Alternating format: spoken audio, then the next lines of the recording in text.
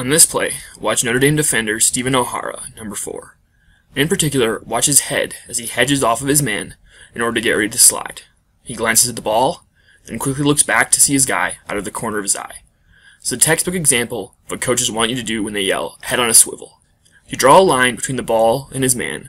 O'Hara is always positioned on the goal side of that line, with his body facing roughly perpendicular to that line.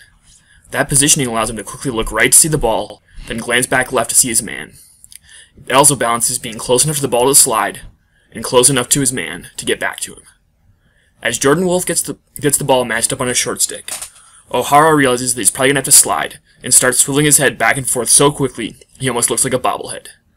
He times the slide perfectly, forces Wolf to roll back, and that gives the second slide just enough time to get back and deflect a pass intended for Miles Jones.